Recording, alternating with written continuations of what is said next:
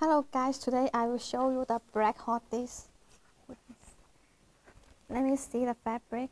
It didn't use the French terry fabric but used the fleece fabric.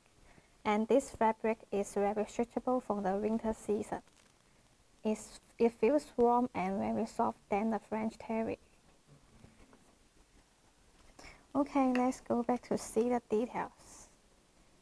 And normally the hoodies will do the eyelet at drawstring end and uh, the drawstring.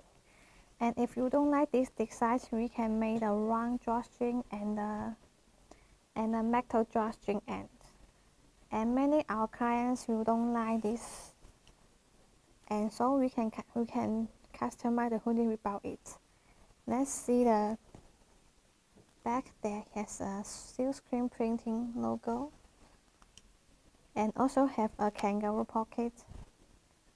And for this size, they have a special one is that it may a label on it. And from the back side also is a big logo. And if you don't like this, and we can customize the pattern on it. That's the whole dish I show you. Thank you.